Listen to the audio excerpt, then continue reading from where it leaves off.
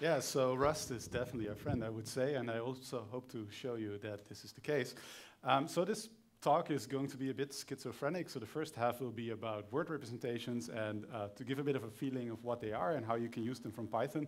And then the second half, I want to show a bit how you could actually uh, build Python modules in, in Rust. So um, I'm Daniel, but there's another name listed here. I just wanted to give credit to him since he also did a lot of the implementation work um, together with me. And um, so today I'm going to talk about a project called Final Fusion, and it actually consists of a few sub-projects. So the reason that we started Final Fusion was that we're using word embeddings a lot. So we do NLP, we do parsing, uh, named entity recognition, part of speech tagging, all those things. But we're always sort of juggling with many different kinds of word embeddings, and then also with at least two languages, namely Python and Rust. So we decided to make one format um, that does everything. Of course, some of you may know the XKCD that points out that now there is yet another format, but I'm going to um, blissfully ignore that. Uh, and the goal of uh, Final Fusion is to make embeddings that have a simple format. So the format should be trivial to interpret in different languages. Um, it should also be programming language uh, agnostic. So there are some existing good embedding formats but they rely, for example, on serialization that is offered in that particular language. And then if you want to use the embeddings from another language, you basically uh, cannot do it.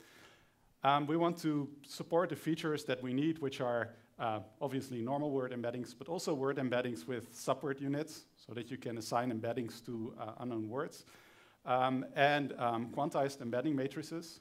So quantization is a method to compress uh, embedding matrices to make them much smaller.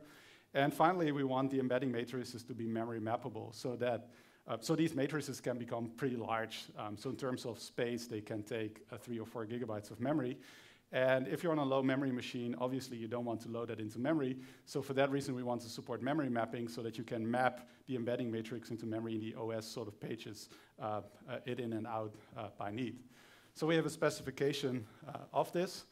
But with this come uh, a few utilities. So the first is um, called Final Frontier, which is a package for training uh, word embeddings. So if you know Word2Vec or FastText, it's similar to that, except that it combines many different models. So you can, for example, do dependency embeddings with subword units, and there's currently no other package that offers um, most of these combinations.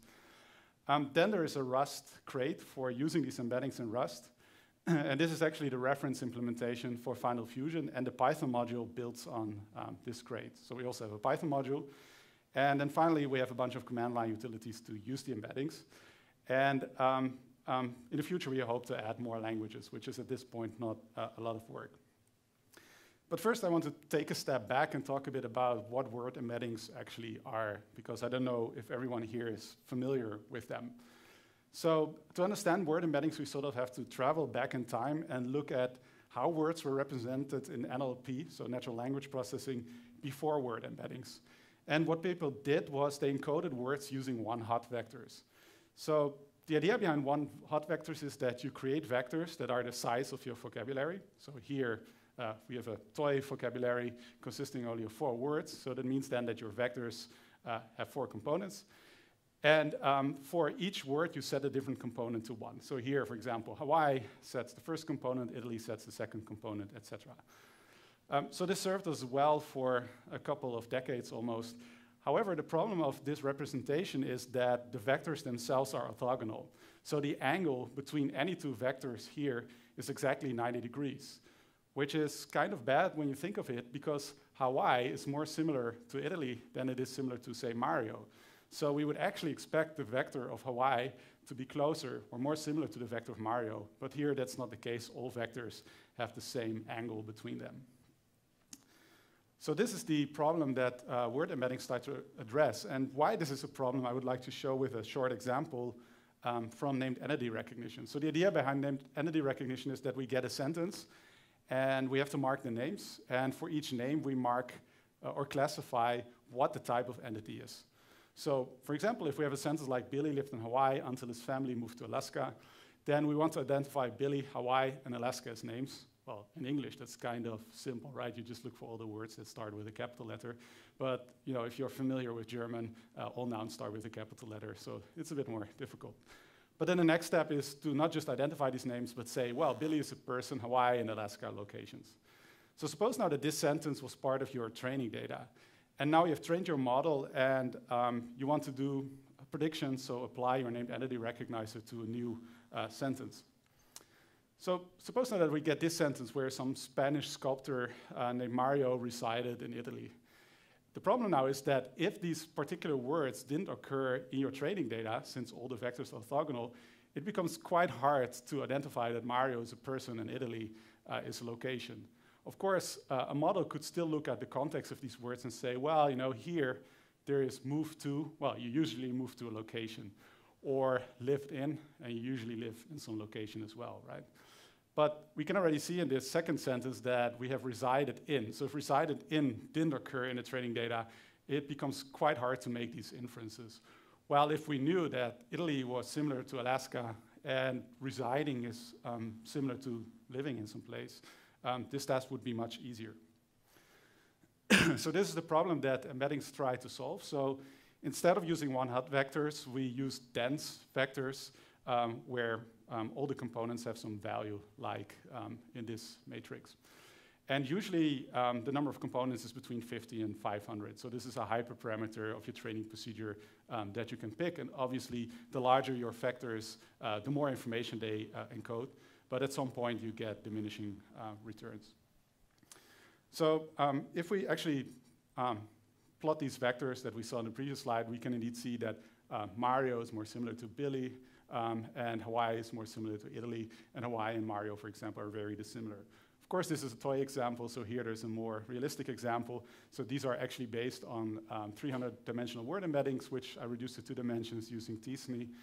And um, uh, I picked, for example, a word like, um, well, one is gone, the usual problem with beamers, um, having different color sets. Well, one of the words I did was Python. I looked up the 10 most similar words, and for example, also for cinnamon. And we see that um, um, words that relate to cinnamon have similar clusters like cloves or ginger or lemon, but also words similar to Python uh, tend to cluster with uh, other words that have to do with Python like, um, I don't know, I think there was Pythonic here, Python 3, uh, WX Python, etc.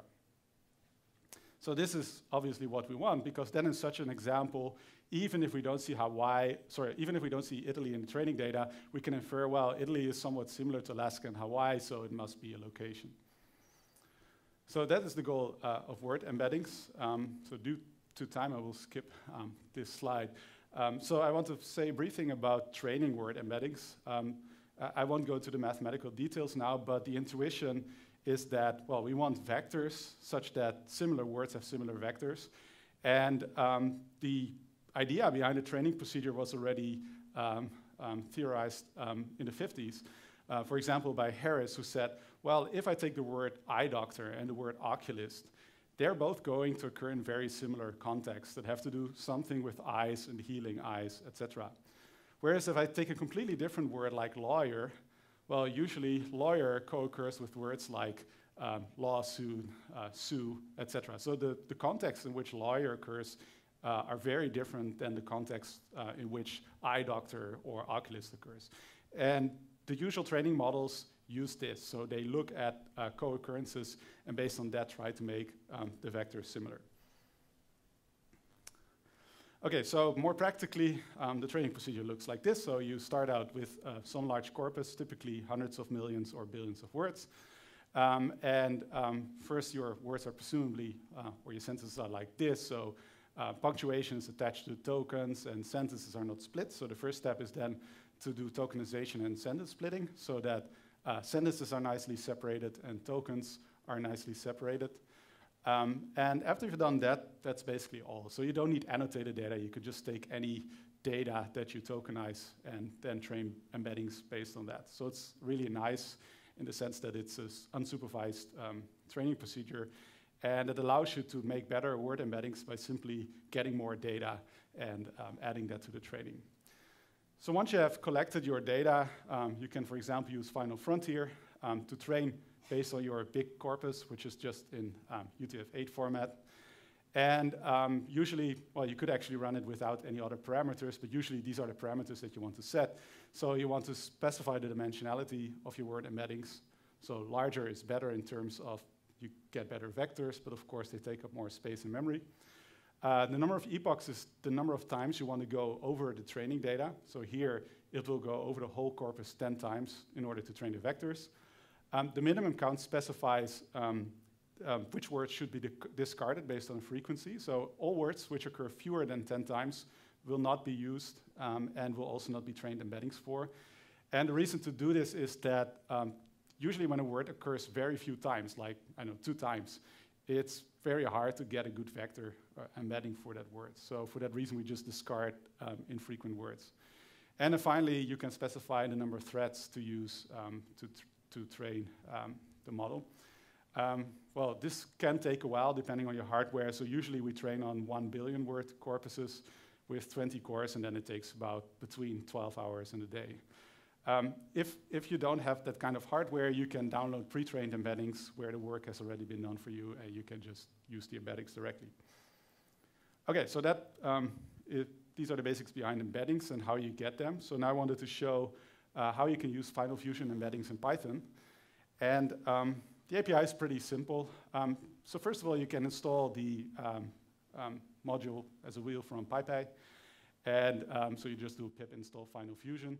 At the moment, due to how the utility works that builds the module, we cannot specify dependencies yet, so you have to explicitly say, well, I need NumPy as well. And then once you've um, installed the, the wheel, you can um, obviously use it, but there's typically one class that you want to use. The rest um, is not that relevant or is used by this particular class, which is uh, embeddings. So from Final Fusion, we import embeddings, and then everything we're going to do after this, we do using this uh, class. Okay, so first we want to load uh, a particular set of embeddings that were pre-trained. Um, so we do this by uh, using the constructor of embeddings, and it takes a file name, and it will load the full embedding matrix into memory. Um, so as I said, this can be fairly large. So if you don't want to use that much memory, you can also um, choose to memory map it. So then we add a keyword argument saying we want to memory map.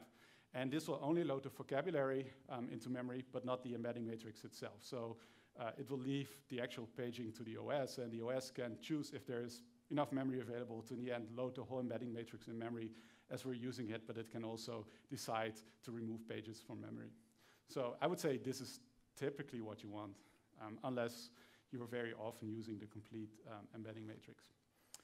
Okay, so the first scenario, how you want to use word embeddings, and I think this is the most common one, um, is that you want to use it in a machine learning model. So, for example, if you're doing named entity recognition, um, you're not going to insert words as one hot vectors anymore, but instead you want to uh, put their embeddings as the input to your, say, neural network.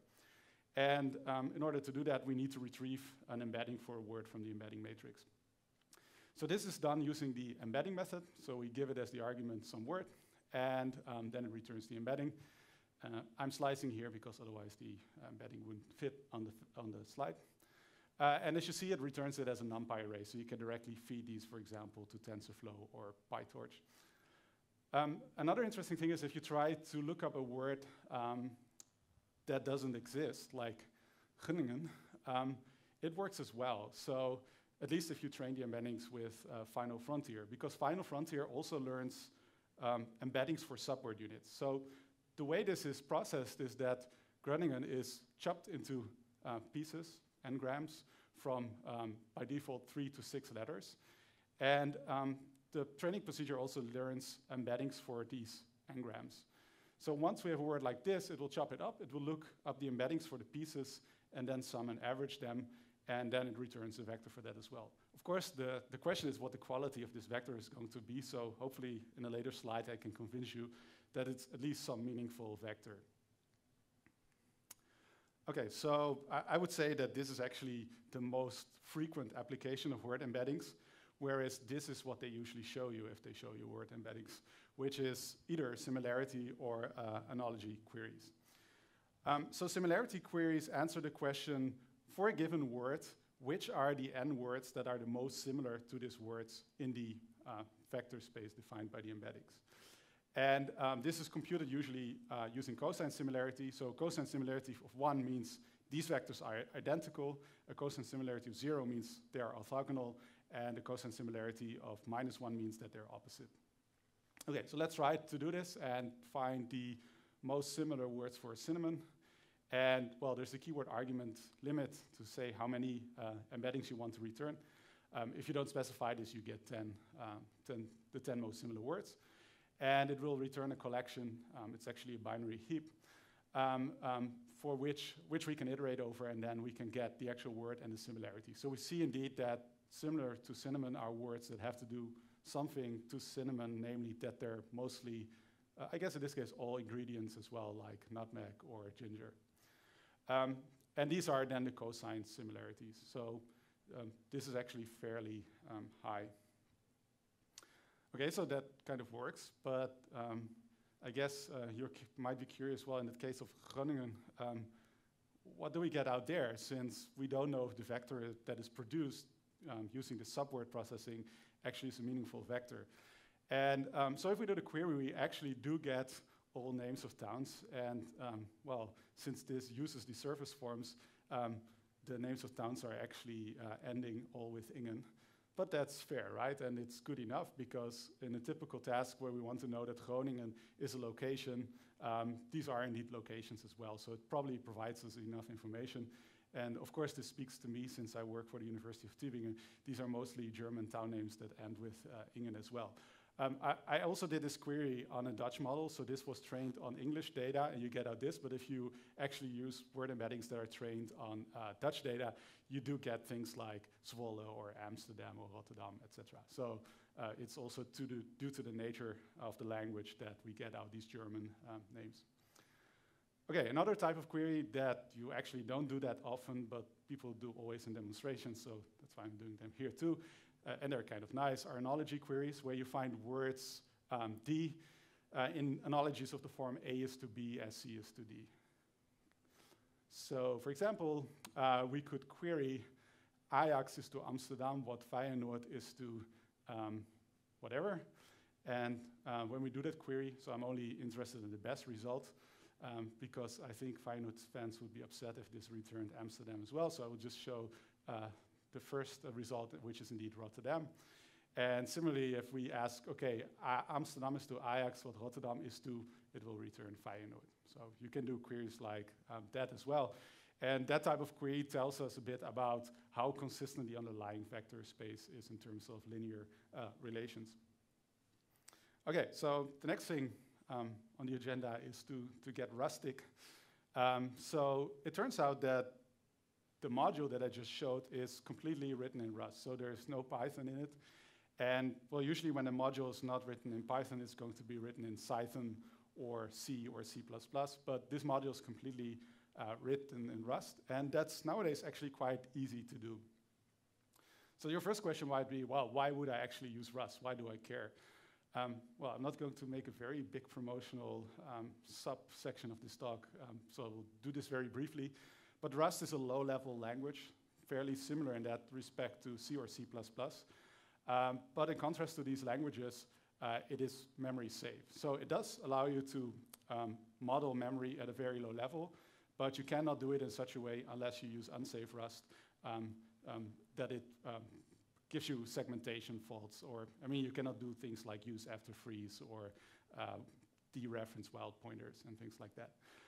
Um, it also has strong typing, so you have algebraic data types and all that. And uh, it focuses on zero-cost abstraction, so you do have things like in Python, such as iterators, but they're usually completely compiled away because they're set up in such a way that they cost as little as possible. And um, this actually makes Rust really fit to write Python modules that need to go fast. So if you have some functionality that you implemented in Python, it's too slow, and you're thinking, well, maybe I should rewrite this in C, uh, I guess Rust is now another good option besides uh, C or C++. Okay, so I want to show briefly how Rust and Python uh, interoperate, um, and especially to show you how simple it is. Um, and in this, um, there are two parts. So one is Pyo3, which is a Rust crate. So crate is a synonym in Rust for library. Uh, so it's a Rust library um, that bind, uh, uh, binds the Python interpreter. So you can use it either to expose Python functions, sorry, Rust functions and data structures to Python, but you can also use it to embed a Python interpreter in your Rust program. The other part is Pyo3 pack, um, which can be used to compile Rust crates as Python wheels, and you can also upload them. So uh, using one command, you can, rather than some Rust library, produce a uh, Python wheel, and you can then easily upload it to PyPI. Okay, so um, I'm going to show a bit um, of the source code of uh, this actual module, just to show you um, how uh, it interoperates with Python. So sort of the central structure here is this struct um, PyEmbeddings, and this actually maps to the embedding class that we saw in, in Python. And in this Rust, so I call it PyEmbeddings because in Rustland we also have an embeddings data structure, and otherwise it would be unnice to have two data structures that are called embeddings. Um, and in that, um, we wrap the Rustland uh, embeddings. So there's this funny RC ref cell here. Um, in Rust, every um, piece of data has a single owner. Um, but here, um, since we're communicating with Python, we want to be able to share the embeddings between different classes. So this adds a reference counter. So you get the same kind of memory management as Python then, which also uses reference counting. So we now promote this whole thing to be a Python class by just saying, okay, this is a Python class using an attribute, and the name of this Python class is embeddings. So there's one more thing to do, so that makes it a Python class, uh, but we also have to register it in the module. So we define a module in uh, a function, which we mark with the PyModule attribute, and then um, in that um, function, we add to the Python module um, this new class. And then the class is known um, in Python land. Of course, this class by itself is not very useful yet because uh, it doesn't have any methods or properties. So um, the next thing that we do is then adding methods to this class. And this you do using a normal Rust impl block. So in Rust, methods on a data structure are implemented in an impl block. And um, again, we use an attribute to mark now that this is not a regular Rust impl block, but we promote it into a block of Python uh, methods. Um, so um, once we do that, everything that's in this block is going to be a Python method. So now we have this method similarity, uh, which was used to, to, to, find similar words. And um, this whole method now becomes a, a, Python method. So there are some funny things going on here. So first of all, this is a Rust thing. So um, it's a bit like um, self in Python so that you can refer to the object itself. We also get as the argument the Python interpreter so that we can communicate with Python if necessary. But these two are just Rust types. So here it says word is a string slice and limit is uh, an unsigned integer. And what Pyo3 does for us automatically is um, convert this Rust data type into a Python string, so this Rust string reference into a Python string, and this uh, Rust well, actually goes the other direction, so it converts a Python string and a Rust string reference and a Python um, number or integer to a Rust unsigned uh, integer. So it does that automatically for us. And we can also use attributes to, for example, uh, give default values for arguments. So here we say, well, the argument limit by default is 10, so if it's not specified, that's going to be the value uh, of that argument. So I will skip the next few things uh, due to time constraints. Um, um, well, very briefly, this one. So getters and setters, you define in a similar way. So you make um, methods for them in Rustland, and you just mark it with the getter attribute or the setter attribute, and that's it you have these now in Python land. Okay, so the final thing is then you have implemented your module, and this is where Pyo3pack comes into action. So you say to Pyo3pack, please build uh, a wheel for me. It figures out which Python interpreters are available. So here we have 2.7 and everything up to 3.7. And then it builds the wheels for you for all these versions. And you can also use Pyo3pack upload, and then it will upload the wheels to um, PyPI. Okay, so um, if you want to know more about Final Fusion, you can find it on this webpage, and you'll find the specification, all utilities, and libraries. Thank you. Thank you very much, Daniel. Questions?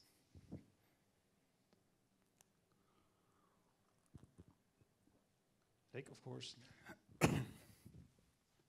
Uh, you were setting the embed. You had a terminal command, and you were setting the uh, depth of the embeddings or the length, and also you said that you were.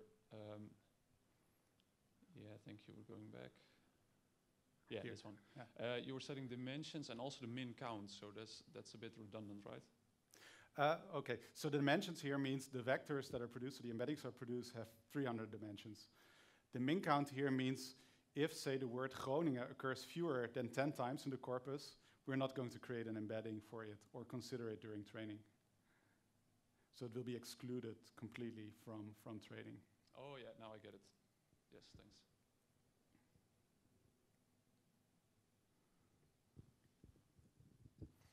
Yeah, so thank you. It was actually very interesting. Um, but I was uh, wondering, so did you actually uh, develop a new algorithm yourself, or did you use some existing algorithms such as FastText, GloVe, or uh, Word2Vec and make a new uh, implementation for this? Right. So um, the history here is, uh, so the answer is yes, we use existing algorithms. And the uh, sort of backstory here is that I at some point used FastText.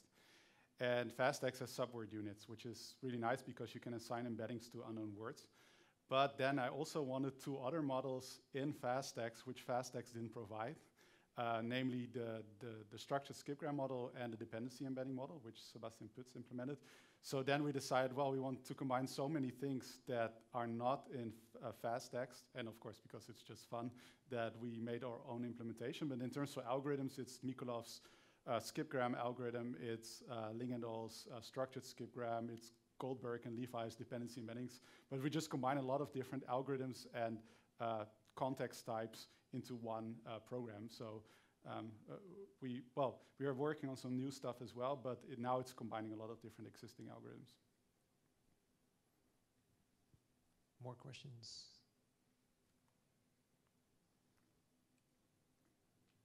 Okay, thank you, Daniel. Thanks.